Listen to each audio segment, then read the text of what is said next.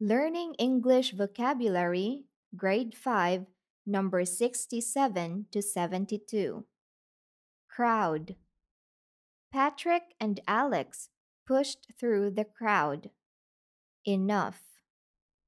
Phoebe wasn't fast enough. Hour. The boys spent six hours in Istanbul. Tile.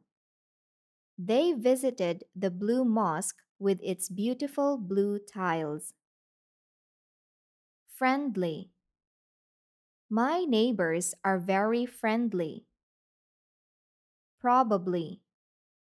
She's probably waiting for you there. This is the end of learning English vocabulary number 67 to 72.